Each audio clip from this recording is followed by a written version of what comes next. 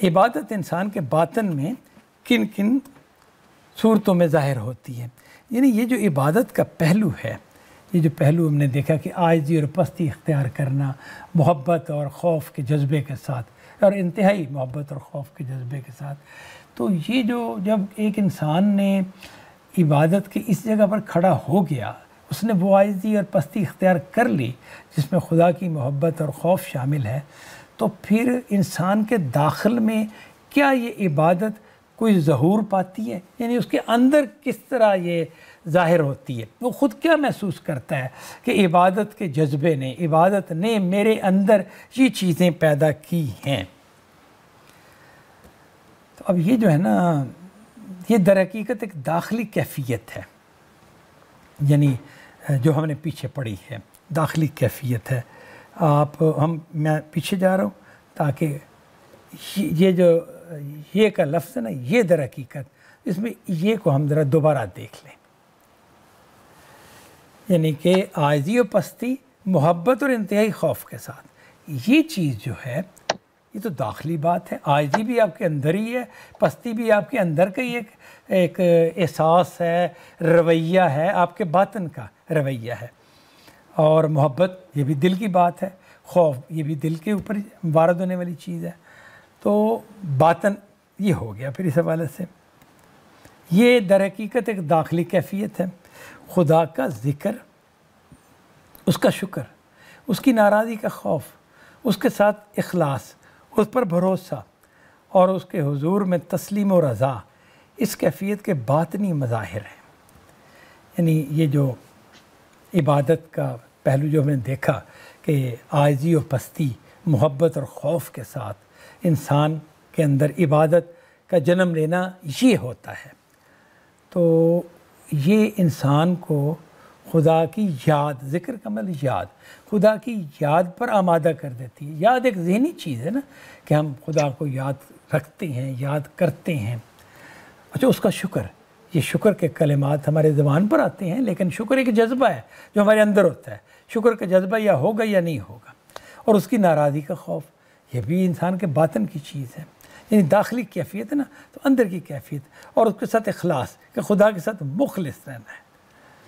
उस पर भरोसा खुदा पर अतमाद तवक्ल और उसके हजूर में तस्लीम रज़ा। खुदा की बात के आगे आ, सर झुका देना राज़ी होना। कि ठीक है राज़ी हूँ मैं। खुदा की तरफ़ से कोई ऐसा मामला आया कि जो तबीयत को नागवार लग रहा था तो इंसान उस पर राज़ी है कि मैं खुदा के फ़ैसले को कबूल करता हूँ और उस पर राज़ी होता हूँ। इन उसमें बड़े बड़े बड़े वाक़ात होते हैं। मसलन बाज़त हमारे रिश्तेदार, करीबी लोग वफ़ात पा जाते हैं। तो वफ़ात पा जाते हैं तो हमें दुख होता है जिसकी वजह से हम रोते हैं। लेकिन फिर हम सर झुका देते हैं कि ठीक है, खुदा बालिक था उनका खुदा ही ने उनको पैदा किया था खुदा ही उन्हें अपने पास ले गया। तो हम तस्लीम भी करते हैं खुदा का के फ़ैसले को और उस पर राज़ी भी होते हैं। राज़ी होने का क्या मतलब है कि हम ये नहीं कहते, ये अल्लाह तूने गलत किया है, ये ये मेरा वालिद या मेरा भाई क्यों फौत हो गया? ये नहीं कहते, नहीं, ठीक है, खुदा की मर्ज़ी। हम खुदा की रज़ा पे राज़ी हैं। जो राज़ी नहीं होगा ना, वो गिला करेगा, शिकवा करेगा। खुदा तूने गलत किया, तूने सही नहीं किया। तो मतलब है कि मेरे साथ जुल्म हुआ है। ये ऐसा नहीं होना चाहिए था। ये खुदा का इख्तियार है, उसके इख्तियार के आगे कोई बोल नहीं सकता। तो लेकिन वो तो गलत, अपने इख्तियार को गलत इस्तेमाल करता है।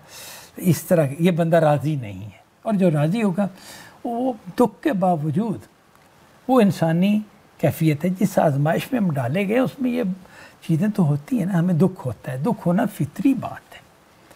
लेकिन खुदा के फ़ैसलों पर मोतरद होना, एतराज़ करना, नहीं, ये नहीं जायज़। जो खुदा पर ईमान रखता है ना, वो तस्लीम रज़ा की जगह पर ही खड़ा होगा। इस कैफियत के बातनी मज़ाहिर हैं। यानी कि ये फिर दोबारा में देख, ज़िक्र, शुक्र नाराज़ी का खौफ अखलास तस्लीम रज़ा भरोसा, खुदा पर भरोसा, तस्लीम और रज़ा। वो जो इबादत की कैफियत थी ना, उसके बातनी मज़ाहिर हैं।